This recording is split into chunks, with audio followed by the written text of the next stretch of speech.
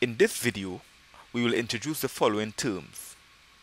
We are already familiar with numbers, but we may not be familiar with some of these classifications. Counting numbers, or natural numbers, whole numbers, integers, rational numbers, irrational numbers, and real numbers. We start counting 1, 2, 3, 4, 5, 6, 7, and we go on and on.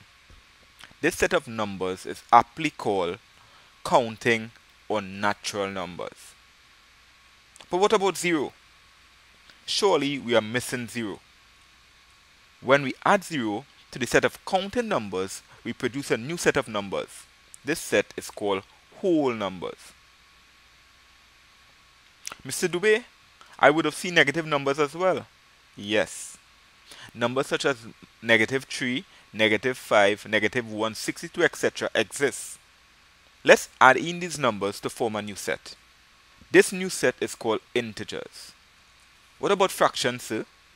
Two-thirds and a half doesn't fall under any of these three sets we have done so far. You are right. But remember that 1, 2, 0, negative 3, and negative 7 are fractions in themselves. They can be expressed as a fraction by putting that number over 1. 1 is the same as 1 over 1. 2 is the same as 2 over 1. 0 is the same as 0 over 1. Negative 3 is the same as negative 3 over 1. Negative 7 is the same as negative 7 over 1. There's a new set, rational numbers, which includes all the numbers you have seen before, plus all other fractions including 2 thirds and a half, as we have already mentioned. So, are we missing any? Yes. Have you heard of pi? pi is equal to 3.14159265358 and goes on and on.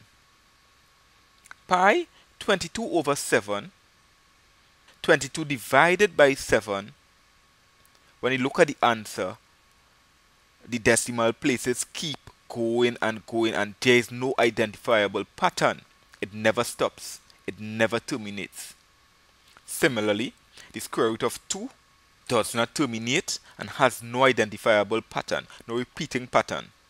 Because these numbers never terminate and have no repeating pattern, we cannot express them exactly as a fraction. So they are not fractions. But they are still numbers. These numbers that cannot be expressed as a fraction are called irrational numbers. And I've listed some additional ones for you, like root 3, root 5, and root 7.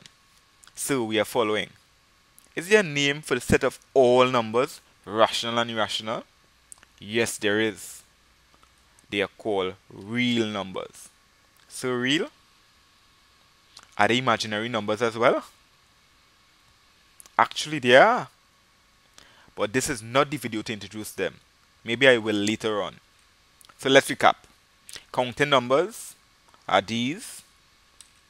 Whole numbers, integers, rational numbers, irrational numbers, and real numbers. Thank you very much.